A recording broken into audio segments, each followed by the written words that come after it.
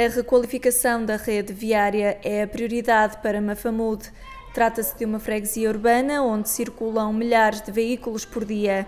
Em 2015, o investimento na recuperação das estradas vai continuar. Teremos em 2015 um conjunto de intervenções na, na, rede viária, que no caso concreto de Mafamudo, Vilar do Paraíso, são intervenções que ascenderam a quase 400 mil euros, eh, compilada toda a intervenção de Câmara e Águas de Gaia. A presidência aberta passou por Mafamudo, o grupo visitou o Jardim de Infância de Laborim e a Escola de Laborim de Cima. Os trabalhos encerraram na Associação Terrim-Terrim, a recuperação do parque escolar é também um objetivo prioritário. Naquilo que diz respeito à manutenção foi um pouco abandonado aqui como no, em outros sítios e portanto fizemos esta visita também numa lógica de compromisso. E hoje vimos que, que, este, que estas sinergias que são criadas entre as escolas, as autarquias, as IPCS, eh, resultam sempre numa, num, num produto social de, de, grande valor que vem ajudar as famílias que passam maiores dificuldades e mesmo aquelas que não passam de grandes dificuldades eh,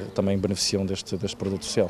A presidência aberta terminou com uma sessão pública no Salão Paroquial de Mafamude.